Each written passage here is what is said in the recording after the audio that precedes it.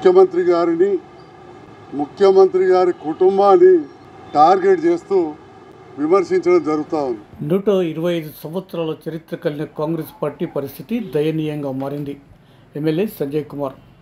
ముఖ్యమంత్రి కేసీఆర్ చేస్తున్న అభివృద్ధి చూసి ఓర్వలేక ఆయనపై ఆయన కుటుంబం పైన మరియు ఎమ్మెల్సీ కవితమ్మపై ప్రతిపక్షాలు ఆరోపణలు. నూట ఇరవై ఐదు సంవత్సరాల చరిత్ర కలిగిన కాంగ్రెస్ పార్టీ పరిస్థితి దయనీయంగా మారిందని ఆ పార్టీ నాయకులు పరోక్షంగా ఒప్పుకుంటున్నారని ఎమ్మెల్యే సంజయ్ కుమార్ అన్నారు. జగిత్యాల ప్రెస్ క్లబ్లో సోమవారం సాయంత్రం శాసనసభ్యులు డాక్టర్ సంజయ్ కుమార్ విలేకరుల సమావేశంలో మాట్లాడారు. కాంగ్రెస్ పార్టీ నాయకుడు బట్టి విక్రమార్క పాదయాత్ర నిర్మల్ నుంచి ఆదిలాబాద్ మీదుగా మంచిర్యాల చేరే వరకు ఆ పార్టీ నాయకుడు మహేష్ రెడ్డి బీజేపీలో చేరడం ఇందుకు నిదర్శనం అన్నారు. అలాగే తెలంగాణ రాష్ట్రంలో అన్ని వర్గాల ప్రజల సంక్షేమం కోసం ముఖ్యమంత్రి కేసీఆర్ చేస్తున్న అభివృద్ధి కార్యక్రమాలను చూసి ఓర్వలేని ప్రతిపక్షాలు ఆయనపై ఆయన కుటుంబంపై కక్ష కట్టే రీతిలో ప్రకటనలు గుప్పిస్తుండడం విచారకరమన్నారు. విలేకరుల సమావేశంలో మున్సిపల్ ఇన్ఛార్జ్ చైర్మన్ గోలి శ్రీనివాస్తో పాటు కౌన్సిల్ సభ్యులు ముసుకు నారాయణ రెడ్డి పొంబాల రామ్కుమార్ జిల్లా రైతు బంధు సమితి సభ్యులు కొల్మల రమణ సర్పంచ్ల ఫోరం బీర్పూర్ మండల అధ్యక్షులు మైపాల్ రెడ్డి సర్పంచ్ ఢిల్లీ రామారావు పార్టీ నాయకులు సమిళ శ్రీనివాస్ అడవాల లక్ష్మణ్ డిష్ జగన్ యూత్ అధ్యక్షులు కత్రోజ్ గిరి ప్రధాన కార్యదర్శి శరత్రావు పాల్గొన్నారు. రాష్ట్రంలో భారత రాష్ట్ర సమితి కేసీఆర్ గారి నేతృత్వంలో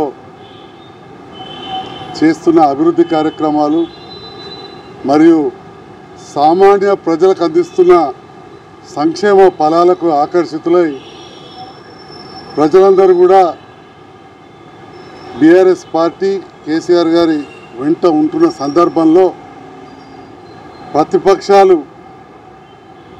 ఏమీ అర్థం కాని స్థితిలో ముఖ్యమంత్రి గారిని ముఖ్యమంత్రి గారి కుటుంబాన్ని టార్గెట్ చేస్తూ విమర్శించడం జరుగుతూ ఉంది. గత కొన్ని రోజులుగా మనం చూస్తూ ఉంటే జగిత్యాలలో కాంగ్రెస్ నాయకులు కవితమ్మ గారిని అప్రతిష్ట పాలు చేసే విధంగా దాంతో పాటుగా కాంగ్రెస్ పార్టీని భారత రాష్ట్ర సమితి వాళ్ళను ఖతం చేస్తున్నారని చెప్పి చెప్పడం చూస్తే అసలు కాంగ్రెస్ పార్టీ ఉన్నదా అని చెప్పి వాళ్ళ డౌట్ వస్తున్నది. అంటే సీనియర్ నాయకులు వారి నోటనే మా కాంగ్రెస్ పార్టీ ఖతమవుతుందని చెప్పి చెప్తా ఉన్నారు. ఒక పార్టీని జాతీయ పార్టీ నూట ఇరవై ఐదు సంవత్సరాల చరిత్ర గల పార్టీని ఒక ప్రాంతీయ పార్టీ కథం చేస్తున్నారని చెప్తున్నారంటే ఆల్రెడీ ఇక్కడ వాళ్ళ నాయకత్వం ఎంత బలహీన పడ్డదో అర్థం చేసుకోవాలి. ఇక్కడ సీనియర్ నాయకులు పెద్దలు జీవన్రెడ్డి గారు నాలుగు ఉమ్మడి జిల్లాలకు ప్రాతినిధ్యం వహిస్తారు. నాలుగు ఉమ్మడి జిల్లాలకు. పర్వాలేదు సంతోషం. నాలుగు దశాబ్దాల రాజకీయ జీవితం వారిది చెప్తూ ఉంటారు.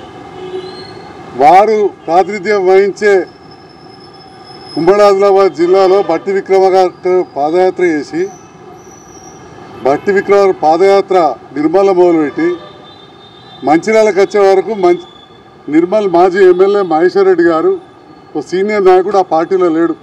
భారతీయ జనతా పార్టీకి వెళ్ళిపోయాడు. అంటే దాన్ని బట్టి చూస్తేనే అర్థమవుతున్నది. కాంగ్రెస్ పరిస్థితి ఎంత దయనీయంగా మారిందనేది అంటే మహేశ్వర్ రెడ్డి గారిని కూడా బీఆర్ఎస్ పార్టీ తీసుకుపోయి బీజేపీలో చేర్చిందా అని నేను అడుగుతున్నా. మీరు మాట్లాడే దాంట్లో అసత్యం అర్థం లేదు. ఇది అసత్యం అనే విషయాలు మీకు కూడా తెలుసు. ఎందుకంటే కాంగ్రెస్ను చీల్చాల్సిన అవసరం బీఆర్ఎస్ పార్టీకి లేదనే సంగతి కూడా మీకు తెలుసు. ఈ పార్టీని మీరు కాపాడుకోలేక కాంగ్రెస్ పార్టీని కార్యకర్తలను కాపాడుకునే నాయకత్వం లేక మీరు రోజు రోజుకు క్షీణించిపోతున్నారు. రెండు రాష్ట్రాల్లో కూడా మీరు అధికారం లేరు. పట్టుమని పది రాష్ట్రాలలో మీకు పూర్తి స్థాయిలో పోటీ చేసే పరిస్థితి లేదు. పట్టుమని పది శా- రాష్ట్రాల్లో పోటీ చేసే పరిస్థితి లేదు.